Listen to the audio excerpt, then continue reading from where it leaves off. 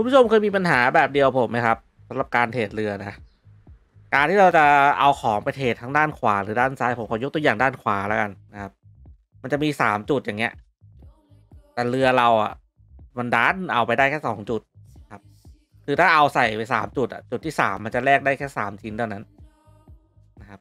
วันนี้ผมมีวิธีแก้ครับทำให้เราสามารถแบกของไปได้แบบสามจุดเลย ง่ายๆฮะเดี๋ยวไปดูกันทำไง เอาละครับ สวัสดีคุณผู้ชมทุกท่านนะครับยินดีต้อนรับสู่ฟิกเกมมิ่งครับผม วันนี้อยู่เกม Black Desert Online นะครับ วันนี้เป็น trick การ trade เรือเนาะนะครับ ก็ผม trade เรือมาได้สักระยะแล้วแหละ ประมาณสองสามเดือนละครับที่ trade แบบจริงจังนะฮะเนี่ยผมมี trick ที่คุณผู้ชมอาจจะยังไม่ค่อยทราบกันนะครับผมนั่นก็คือการเขาจะเรียกว่าบักน้ำหนักเรือได้ไหม อะเรียกว่าบักน้ำหนักเรือแล้วกันนะครับ บักน้ำหนักก็คือเราจะเอาของที่เยอะกว่าที่เรือสามารถจะเอาไปได้นะครับ ไปเทรดด้วยครับ ผมยกตัวอย่างนะฮะแต่ผมจะทำให้ดูก่อนนะครับเนี่ยอย่างสมมติว่าผมต้องการจะเอาของ เนี่ยตรงนี้นะสามเกาะนี้นะครับ แต่ว่าตัวเดี๋ยวผมให้ดูเรือคาแลกผมน้ำหนักเรือคาแลกผมจะมีแค่หมื่นเก้านะครับใช้ได้จริงอยู่ที่หมื่นแปดเท่านั้นนะครับเพราะว่าน้ำหนักลูกเรือมัน พันหนึ่งเข้าไปแล้วผมต้องการจะเอาของสามชิ้นเมื่อกี้นะครับ มีอะไรบ้าง อ่า มีมังกรนะครับ มังกรเปลือกหอยนะครับ แล้วก็ไข่มุกนะสามชิ้นนี้ ถ้าเกิดเราไปสามชิ้นเลยนะครับ อ่าหนึ่งหนึ่งอย่างเนี่ยหนึ่งเกาะเนี่ยจะแลกได้สิบสองอันสิบสองอันก็เท่ากับน้ำหนักหมื่นสองแล้วถ้าเรือมันเกินน้ำหนัก น้ำหนักเกินหมื่นเท่าไหร่อะสองหมื่นสองหมื่นแปดเนี่ย มันจะไม่สามารถแลกต่อได้แล้วนะครับ น้ำหนักมันเกินลิมิตเลยมาก ๆ เกินไปนะฮะมันก็ทำให้หนึ่งเรือแล่นช้าสองแลกได้ไม่ครบนะครับ แต่วันนี้เดี๋ยวผมมีวิธีให้ วิธีแก้ที่แบบว่าอีซี่มากนะครับ เดี๋ยวเราลองทำให้ดูก่อนนะฮะก็คืออันดับแรกนะครับผมเราต้องเอาตัวละครนะฮะ ตัวละครนะครับ ไปลิงก์กันนะครับ ต้องอยู่เมืองเดียวกันด้นะ ผมแนะนำเป็นเวเลียนะครับผมผมก็จะเอาตัวผมเนี่ยลิงก์กันนะครับสองตัว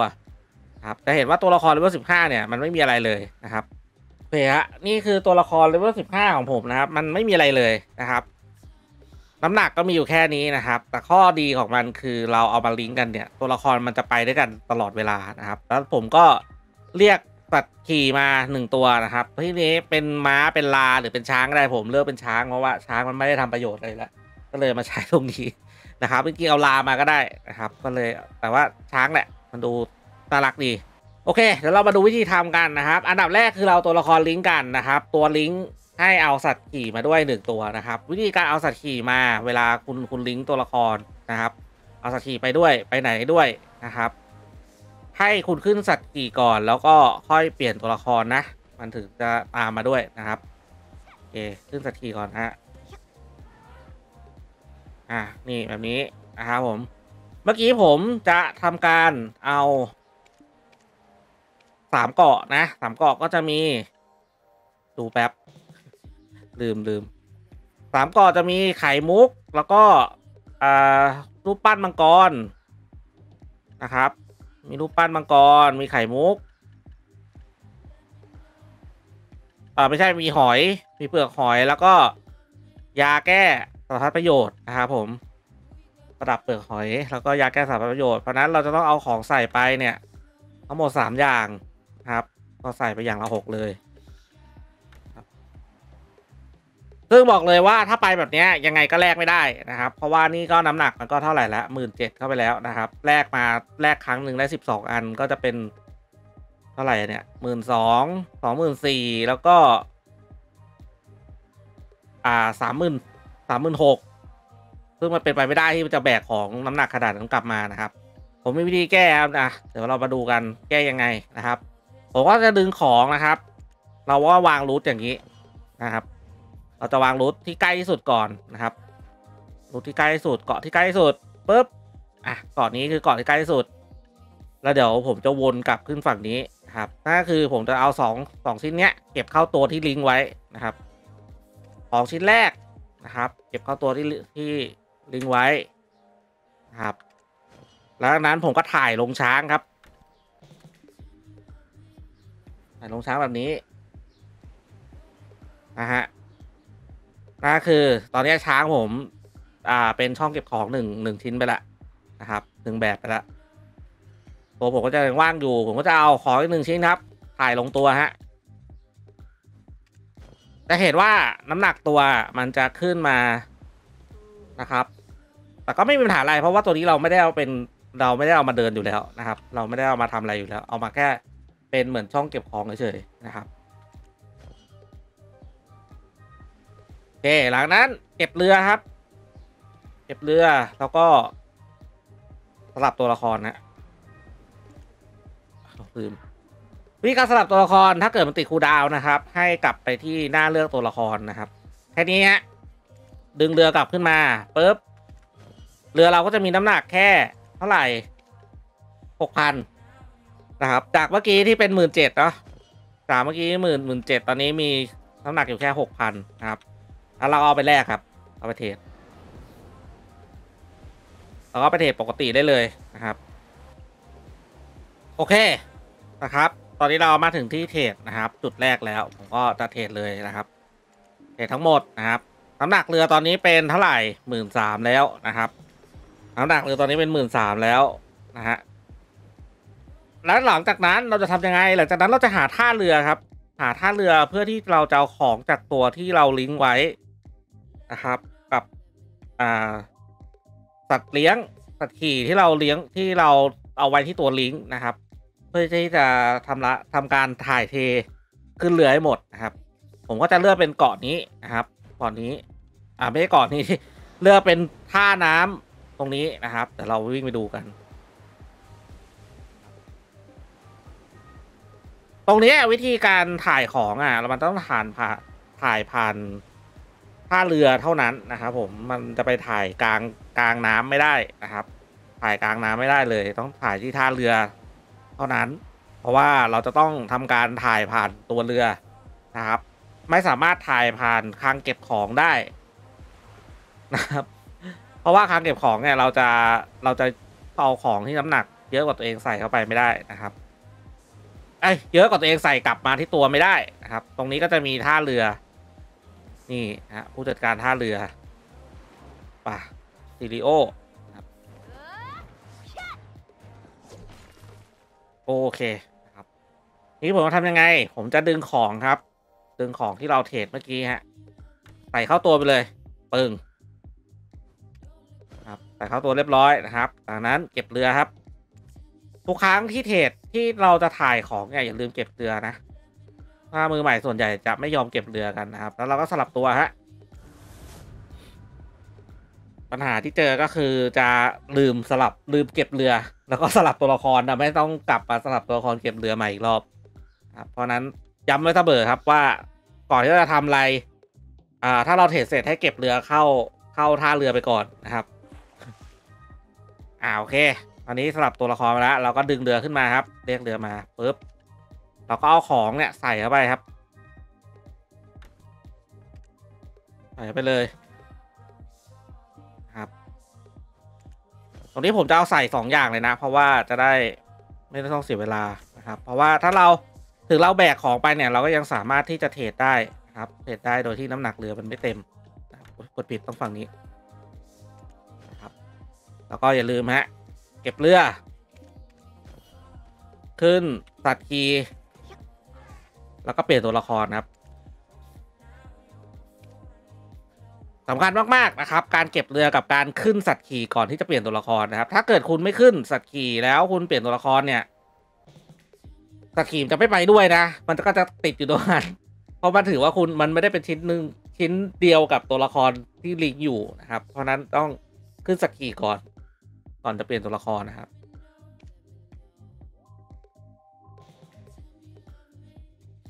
สำคัญสำคัญมากๆนะครับไม่งั้นสักกี่คุณจะเคว้งคว้างอยู่ตรงนี้แหละ ครับ โอเค เสร็จแล้วเราเรียกเรือกลับมาครับแล้วตัวนี้มันจะน้ำหนักมันจะเกินนะ ที่ตัวหลักเนี่ย น้ำหนักมันจะเกินแต่ว่า เราสามารถขึ้นเรือได้อยู่แล้วด้วยการกดคลิกซ้ายนะครับคลิกซ้ายที่รูปเรือหรือจะตั้งเป็นคีย์ลัดก็ได้นะครับ วิธีตั้งเป็นคีย์ลัดก็เข้าไปตรงนี้เลยครับอินเทอร์เฟซนะครับรือ UI UI เอนี่ครับ เรียกเรือนะครับผมก็ใช้เป็นปุ่มบอลอนะเป็นปุ่มนี้นะครับ อันนี้แล้วแต่คนไปตั้งได้นะครับ ผมก็จะตั้งเป็นอันนี้เลยนะครับ เป็นคีย์ลัดเรียกเรือนะครับจากนั้นผมก็จะไปเทรดก่อนนะครับหนึ่งชิ้น ผมก็จะเลือกเทรดที่มันใกล้กับท่าเรือตรงนี้ที่สุดนะครับ เพราะว่าเราเทรดหนึ่งชิ้นแล้วเราจะไปที่ท่าเรือ เราก็จะถ่ายของเข้าตัวลิงก์นะครับ เพื่อให้น้ำหนักเรือค่ะกลับมันไม่มันไม่หนัก แล้วเรือก็จะแล่นเร็วขึ้นนะครับแบบนี้อะผมเทรดเลยปึ๊บอะน้ำหนักเรือยังไม่ยังไม่เกินนะครับ ยังเป็นอ่าหนึ่งหมื่นหนึ่งหมื่นแปด ครับ ยังขาดอีกพันหนึ่งน้ำหนักจะเกิน แต่ว่าเดี๋ยวเราจะไม่เราเอา เราจะไม่ทำให้มันเกิน เพราะถ้าเกินเนี่ยเรือจะวิ่งช้ามากนะครับ วิ่งช้ามากกว่าจะไปถึงที่หมายนี่ใช้เวลาค่อนข้างนานเลยทีเดียวเราเราจะไม่ทำให้น้ำหนักมันเกินนะเราจะไปหาท่าเรือตรงนี้ทางด้านฝั่งขวาเนี่ยท่าเรือมันจะเยอะนะครับท่าเรือมันจะเยอะมากๆ เพราะนั้นมันจะค่อนข้างสะดวก นะครับ แต่ถ้าเป็นฝั่งซ้ายฝั่งบนอะไรเงี้ยท่าเรือมันจะน้อย มันก็จะมีอยู่นิดๆหน่อยๆนะครับอะถึงแล้วนะฮะวิธีการลงครับ คือด้วยความที่เป็นรันนะรันจะมีสกิลที่สามารถใช้ได้แม้กระทั่งน้ำหนัก แม้กระทั่งน้ำหนักเกินนะครับ ผมไปดังนั้นเราเปลี่ยนตัวละครนะฮะครบห้านาทียังวะดูแล้วกัน โอเค ยังไม่ครบ ถ้ายังไม่ครบเราก็ทำการเข้าที่หน้าเลือกตัวละครครับ แล้วก็สลับตัวเอานะครับ จะเป็นอย่างนี้สเต็ปคือได้ผมแนะนำอะผมแนะนำให้คุณขึ้นขึ้นสัตว์ขี่ไปเลยนะครับ ก่อนคุณจะเรียกเรือนะครับเพราะมันสามารถเรียกเรือจากบนสัตว์ขี่ได้แล้วนะก็ปึ๊บเรียกเรือออกมานะครับ ดึงของมาหนึ่งชิ้น ผมก็จะดึงของที่เราเพิ่งเทรดมาเข้าตัวไปเลยนะครับ เพื่อไม่ให้น้ำหนักเรือมันเกินนะครับแล้วนั้นเราก็ฝากเรือครับ ฝากเรือเสร็จปุ๊บเปลี่ยนตัวละครอีกครั้งฮะ กลับไปที่รัน เรียกเรือครับอันนั้นเนี่ยถ้าเลือกเรือท่าเรือเนี้ยมันจะไกลนิดนึงนะเราถ้าเกิดเราไปแบบ เราไปแบบแบบเนี้ยมันจะช้ามากๆนะครับ แนะนำให้ใช้เป็นรันนะครับตัวเทรดเรือหลักผมแนะนำไม่ใช้เป็นรัน เพราะว่าเป็นรันเนี่ยมันจะเราใช้ตัวหลักเป็นรัน เพราะว่ารันมันบินได้นะฮะตั้งแลนดิ้งไกลๆหน่อยนะ เพราะว่ามันต้องใช้ระยะนิดนึง นะครับ โอ้ยพลาดไม่เป็นไรว่ายไปก่อนจะถึงอยู่แล้ว ครับหลังนั้นคลิกซ้ายครับ ขึ้นเรือ เรียบร้อยฮะขึ้นเรือแล้วคราวนี้เรือเราก็จะมีน้ำหนักแค่หกพันครับ แล้วก็เอาแบกของไปเทรดที่สุดท้ายครับโอเคครับเราจะเทรดทิ้นสุดท้ายกันนะครับ เรียบร้อยฮะ อันนี้เรือก็จะแล่นฉิวฉิวเลยนะครับผม ข้อดีของการทำแบบนี้ก็คือ เราจะสามารถแบกของมาได้เพิ่มมาได้อีกหนึ่งชิ้นนะครับหนึ่งถึงสองชิ้นในการเทรดอย่างนี้หนึ่งรอบนะครับ แต่ว่าข้อดีจริง ๆก็คือทำให้เรือเราน้ำหนักไม่เกินแล้วถ้าเรือเราน้ำหนักไม่เกินเนี่ยมันก็จะสามารถอ่าใช้ใช้การเดินเรือแบบล่องเรือล่องลมอัตโนมัติได้นะครับทำให้เรือมันเร็วมาก วิธีการเทรดก็จะลดระยะไปได้พอสมควร คือถ้าคุณถ้าเกิดคุณไม่ทำแบบนี้ก็คือคุณแบกของมาสองชิ้นใช่ป่ะขากลับเรือคุณจะน้ำหนักเกิน แล้วมันจะช้ามากเหมือนใช้เวลาในการกลับเนี่ยใช้เวลาเพิ่มขึ้นสองเท่านะครับ ตรงนี้ทำให้เสียเวลามากๆ อันนี้คือการย่นระยะเวลานะครับผมแล้วก็ท่าเรือที่เราใช้ได้นะครับ จะมีทั้งหมดเดี๋ยวผมชี้แยกไม่เคยนับจริงจังกันทีก็จะมีท่าเรือนี้ครับหนึ่งเนาะหนึ่งท่าเรือนี้นะครับ แล้วก็ท่าเรือนี้สองสามท่าเรือตรงนี้สี่นะครับ มาที่ท่าเรือเวเลียครับท่าเรืออิริยานะครับห้าหกนะครับท่าเรือเกาะเดมาเจ็ดนะครับไล่มาที่โป๊ะตรงนี้นะครับแปดนะฮะแล้วก็ท่าเรือตรงนี้ เก้านะครับท่าเรือเมืองเอฟิเลียสิบแล้วก็ท่าเรือกิวตรงนี้สิบเอ็ดนะครับ ตรงฝั่งนี้ผมไม่แน่ใจว่าได้หรือเปล่านะครับ ตรงฝั่งนี้ไม่แน่ใจเพราะว่าไม่เคยมานะครับส่วนใหญ่ก็จะอยู่สุดแค่ตรงนี้แหละนะครับ แล้วก็จะมีอีกฝั่งหนึ่งก็คือตรงนี้เลยนะครับ นี่สองนะครับ ส่วนเกาะตรงนี้คงไม่มีใครขึ้นไปเทรดนะครับ กาะลงตาตรงเนี้ยกับเกาะอ่าอีกาดำอาจจะไม่มีใครขึ้นไปเทรดแน่นอนนะครับ เพราะนั้นก็ปล่อยปล่อยมันไปนะครับ ที่ใช้จริงใช้หลัก ๆ เลยจริง ๆ ผมจะใช้อยู่แค่ตรงนี้ตรงนี้นะครับ แล้วก็ทางนี้นะครับ แล้วก็ตรงนี้นะฮะแล้วก็สองเมืองหลักที่เราใช้เทรดแต่จริง ๆ จะมีแค่นี้นะครับ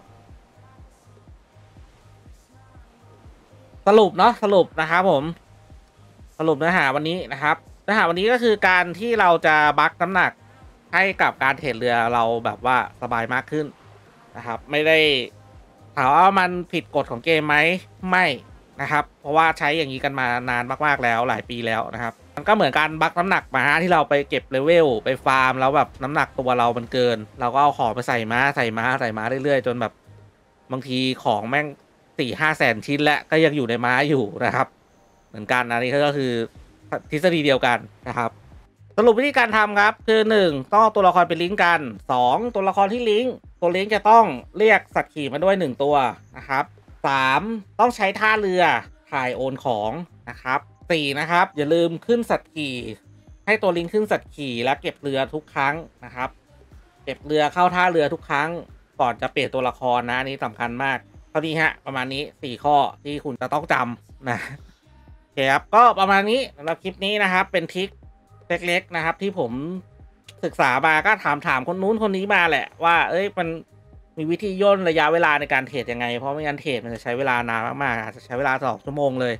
ถ้าเทรดหนึ่งกระดานนะครับ อันนี้คือทำแบบเนี้ยทำการบักน้ำหนักแบบเนี้ยแล้วมันทำให้ระยะเวลาเทรดผมลดลงเยอะมากๆนะครับ คือตอนนี้รอบเทรดผมมันมันค่อนข้างสูงนะรอบเทรดผมมันหมื่นสองเข้าไปแล้ว ครับ เพราะนั้นของพวกของเกาะอะไรพวกนี้มันก็จะเยอะขึ้น พอมันเยอะขึ้น ข้อเสียมันก็จะเริ่มเกิดครับข้อเสียก็คือหนึ่งมันจะเราจะต้องแบกของหลายรอบนะครับ อย่างมุดเทรดเทียห้าเนี่ยผมเทรดผมใช้ ถ้าเกิดว่าผมไม่มีเรื่องการบังน้ำหนักนะ ผมต้องเทรดสามรอบอะถึงถึงจะหมดเทียห้าเนี่ยนะครับต้องเทรดสามรอบถึงจะหมดเทียห้าเพราะว่าหนึ่งรอบผมเอาไปได้แค่สี่ชิ้นเท่านั้นสี่อย่างเท่านั้นนะครับ เรือผมคาแลกเนี่ยลำหนึ่งเนี่ย เปิดให้ดูนะครับผมสามารถแบกของไปได้แค่สี่อย่างเท่านั้นเนี่ยผมจะสามารถแบกไปได้แค่สี่อย่างเท่านั้น น้ำหนักมันก็จะเกินนะครับก่อนนะดาบฟ้าถ้วยก็หมายผมนะน้ำหนักเกินแล้วไม่สามารถใส่อะไรต่อได้ ถ้าเกิดผมไม่ทำการปักน้ำหนักเนี่ย ผมบอกเลยว่าผมต้องเทรดทั้งหมดสี่รอบเอ้สามรอบต่อหนึ่งกระดานนะครับ ที่จะเอาของมาขาย ก็ย่นระยะเวลาในการเทรดได้ในระดับหนึ่งเลยนะครับ หวังว่าทุกคนจะเข้าใจนะครับ ผมอาจจะอธิบายไม่ค่อยไม่ค่อยเคลียร์นะครับ แต่ถ้าเกิดว่าสงสัยอะไรสามารถพิมพ์ถามไว้ได้ใต้คลิป หรือจะไปถามที่แฟนเพจหรือถามในไลฟ์ก็ได้นะครับ ผมจะอธิบายอีกทีหนึ่งนะฮะขอบคุณมาก ขอบคุณทุกคนที่เข้ามารับชมครับ ใครที่เพิ่งเข้ามารับชมแล้วยังไม่ได้กด subscribe ฝากกด subscribe ด้วยจะเป็นกำลังใจในการทำคลิปให้กับผมมากๆนะฮะเป็นกำลังใจและเป็นแรงผลักดันที่ดีที่สุดนะครับผมอย่าลืม subscribe ช่อง YouTube ด้วยนะครับสำหรับคลิปนี้ผมขอตัวลาไปก่อนนะฮะ เจอกันใหม่คลิปหน้า ไปละ สวัสดีครับ